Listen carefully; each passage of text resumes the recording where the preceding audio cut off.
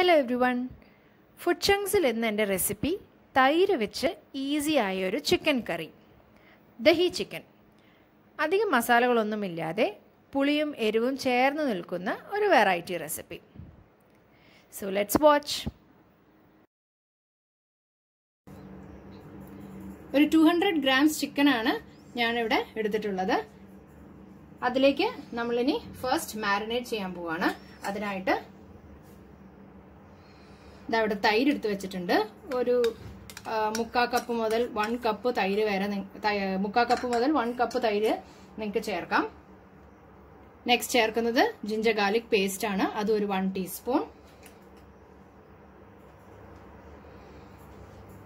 അടുത്തത് ഒരു half teaspoon മഞ്ഞൾപ്പൊടി ഒരു വൺ ടീസ്പൂൺ ചില്ലി പൗഡർ ഒരു ഹാഫ് ടീസ്പൂൺ ജീരകപ്പൊടി.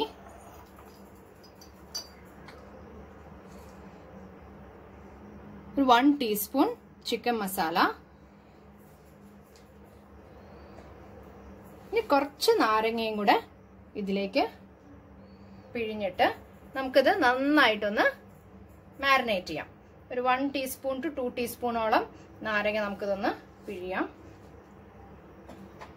ഇനി ഇത് നമ്മൾ നന്നായിട്ട് മിക്സ് ചെയ്തിട്ട് ഒരു two two three hours marinate ചെയ്യാൻ വെക്കണം. മസാലാസൊക്കെ നന്നായിട്ട് ചിക്കനിലേക്ക് ഒരു മൂന്ന് മണിക്കൂറോളം പുരട്ടി വെക്കുമ്പോൾ നന്നായിട്ട് ചിക്കനിലേക്കൊക്കെ ഈ മസാല പിടിച്ച് നല്ലൊരു ഫ്ലേവറാണ് നമ്മുടെ ഈ ചിക്കൻ കറിയിലേക്ക് കൊടുക്കാൻ പോകുന്നത്. ലാസ്റ്റ് നമ്മൾ ഇതിലേക്ക് കുറച്ച് ഉപ്പും കൂടെ ആഡ് ചെയ്തിട്ട് വേണം. ഇത് മാരിനേറ്റ് ചെയ്ത് വെക്കാൻ. അത് ആദ്യം ഞാൻ ഇടാൻ വിട്ടുപോയി.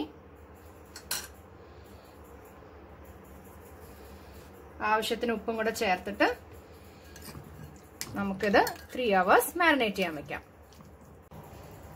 ആദ്യം പാൻ ഒന്ന് അടുപ്പിലേക്ക് വെച്ചിട്ട് അതിലേക്ക് ഒരു ത്രീ ടേബിൾ സ്പൂൺ ഓയിൽ ഒഴിച്ചിട്ടുണ്ട്. ഞാനിവിടെ മസ്റ്റർഡ് ഓയിലാണ് യൂസ് ചെയ്യുന്നത്.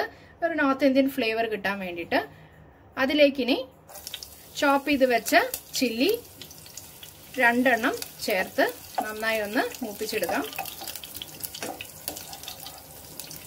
ചില്ലി ഒന്ന് ആയി വരുമ്പോൾ അതിലേക്ക് ഞാൻ ചേർക്കുന്നത് രണ്ട് മീഡിയം സൈസ് ഉള്ളിയാണ്. ചെറുതായി അരിഞ്ഞത്.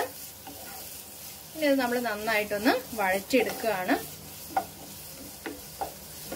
ഉള്ളി ഇതാ ഇവിടെ ഒന്ന് വാടി വന്നിട്ടുണ്ട്. നെക്സ്റ്റ് നമുക്ക് ഇതിലേക്ക് മാരിനേറ്റ് ചെയ്ത് വെച്ച് ചിക്കൻ ചേർത്ത് നന്നായിട്ടൊന്ന് ഇളക്കി കൊടുക്കാം. നല്ല ഹൈ ഫ്ലെയിമിൽ ഇട്ടിട്ട് വേണം കേട്ടോ ഇത് ചെയ്യാൻ.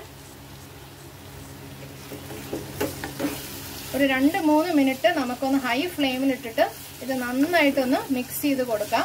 അതിനുശേഷം ഫ്ലെയിം ഒന്ന് കുറച്ച് അടച്ചു വെച്ചിട്ട് നമുക്ക് ഈ ചിക്കൻ ഒന്ന് വേവിച്ചെടുക്കാം.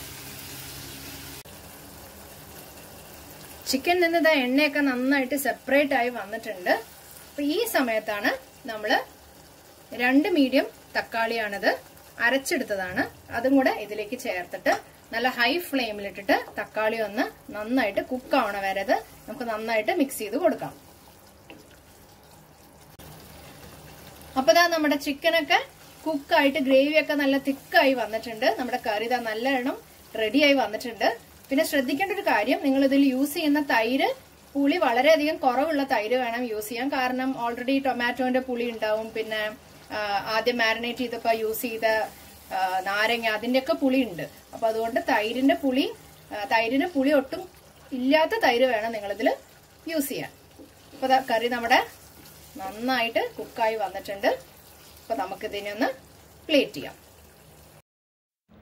സാധാരണ നമ്മൾ ട്രൈ ചെയ്യുന്ന ചിക്കൻ റെസിപ്പികളിൽ നിന്നും ഒരു വെറൈറ്റി റെസിപ്പി അല്ലേ ഇത്? അപ്പോൾ നിങ്ങൾ എല്ലാവരും ഇതൊന്ന് ട്രൈ ചെയ്ത് നോക്കണം. എന്തായാലും ഇഷ്ടമാവും അപ്പോൾ വീഡിയോ എല്ലാവരും like, share and comment and also subscribe to Food Chunks. Thanks for watching. Bye.